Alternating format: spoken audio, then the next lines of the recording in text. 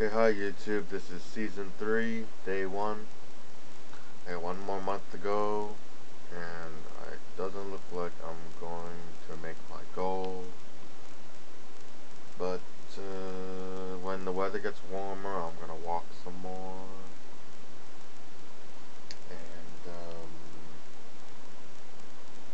also, like, uh, um, at least I stayed under 200 pounds weight update. Under 200 pounds, that's good. And I think that's a steady weight for me, and I'm exercising.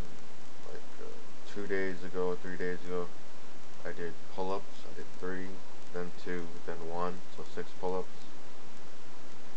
And I was sore, and I need to work on that. So thanks for watching my videos. Peace out. Don't forget to rate, comment, and subscribe.